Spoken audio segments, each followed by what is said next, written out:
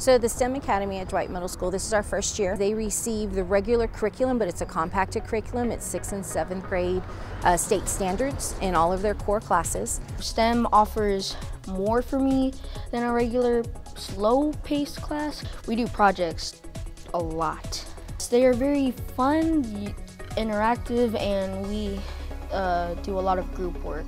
If a classroom is too quiet, we're not having fun. We, we want them in the hallways, we want them talking, we want them playing, and play and learning through play is essential when it comes to STEM.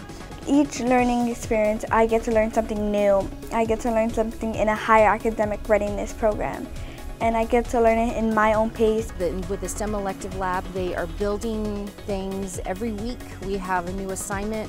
Because we recently made a Christmas card and we had to learn how to make circuits with LED lights and copper tape.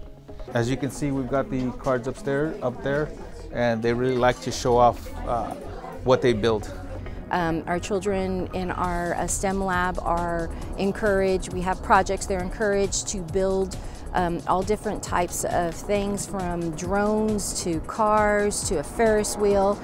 This was a team effort also. Every class was building and we would, from where each class left off, another class would pick up we looked at mistakes other classes made and like we didn't get mad about it, we fixed it. A lot of the work that we're doing is project-based learning, so we're trying to work cross-curriculum. We encourage a lot of uh, communication, uh, working together. We might go over the same subject for a week, but it's different strategies, different ways of learning it. We want to make a real world connection. We want to show them how what they're learning here can be applied outside of here. This exposure to something at an early age allows for them to decide, is, is this what they want to do? Do you know what you want to be when you grow up?